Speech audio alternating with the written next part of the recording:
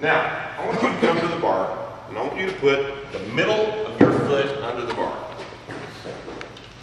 Now, the middle of your foot is not the part of your foot you can see.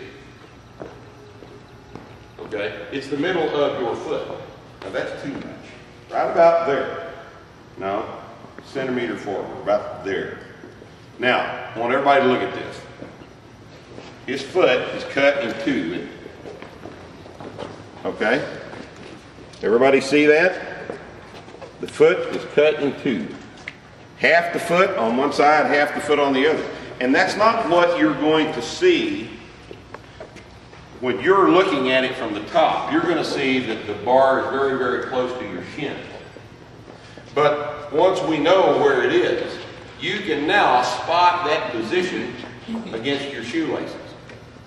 And that allows you to reproduce it quite exactly every time you come to the bar. Now that's the middle of your foot. This is where it has to stay.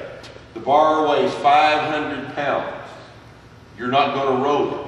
You have to accommodate your position to the bar. Okay? Make sure your stance width is as we discussed earlier about vertical jump width. Place you're going to apply the best power to the floor. Okay? For you, that's probably going to be just a tiny bit narrower than that. Just tiny, tiniest bit. About like that.